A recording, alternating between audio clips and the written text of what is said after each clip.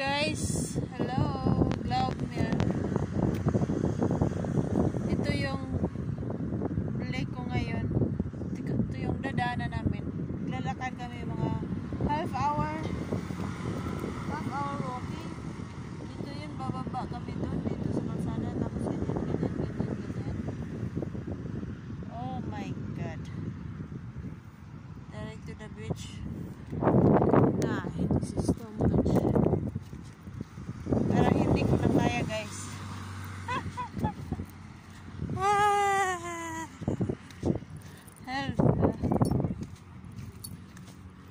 Dito pa kami. Ito yung dadaanan. Yan, dadaan kami dito, dito, dito.